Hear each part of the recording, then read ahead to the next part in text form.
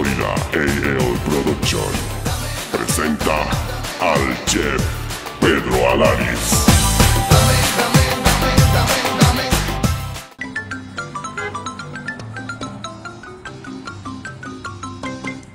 Estoy con la chef Judith Castro y ella nos va a demostrar los ingredientes que vamos a utilizar para hacer esta rica eh, fajita mixta.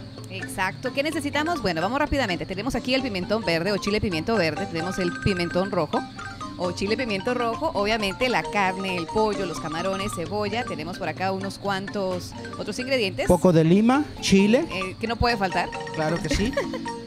Bueno, chef, me dice usted que tenemos que rescatar esos, esos ingredientes que se han perdido en nuestra cultura maya. Exacto. Por ejemplo, el clavito, El clavo de eh, olor. eh, el orégano, También aquí lo tenemos. el- un revuelto que usted tiene aquí secreto de su restaurante. Bueno, pues, ¿qué les parece si yo les voy a demostrar cómo comenzamos a hacer esta rica fajita? Mm.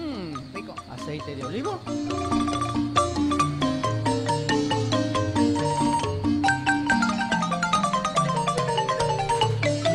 Nuestros ingredientes, aquí tenemos el pimentón.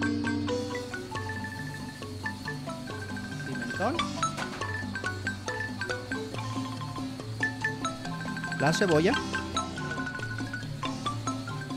Pimiento rojo. Sal poquito de caldo de pollo. Nuestros ingredientes, una mezcla aquí de, de orégano y de chiles mixtos, chile poblano. Y también le vamos a poner un poquito de globito. Ahí está. Y para nuestra carne, un poquito de carne de carne de flank steak o fajita, carne para fajita. Un poco de pollo.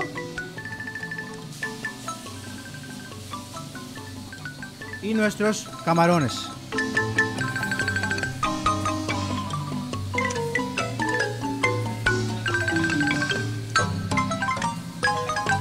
Los dejamos ahí cocinar por unos minutos. Es que les damos vuelta a esto que tenemos aquí. Como ustedes pueden ver aquí todos nuestros ingredientes. Estos son los- todos los ah, chiles y la, cebolla.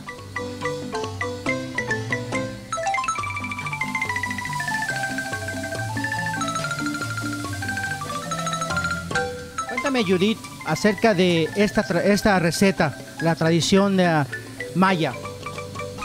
Que hay una fusión entre ambas culturas, porque aquí estamos fusionando muchos de los ingredientes que encontraron nuestros colonizadores al llegar a nuestros países latinoamericanos.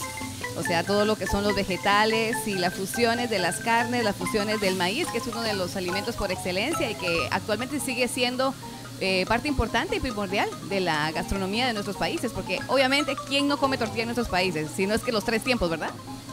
Oye, esto no solo se mira rico, sino que huele rico. Un poquito de lima, nuestro toque, un poquito de lima.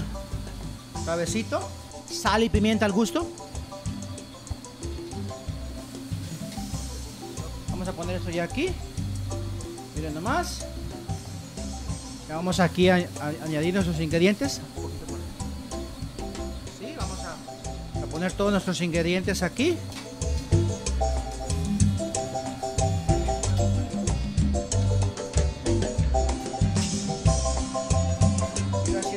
Servir.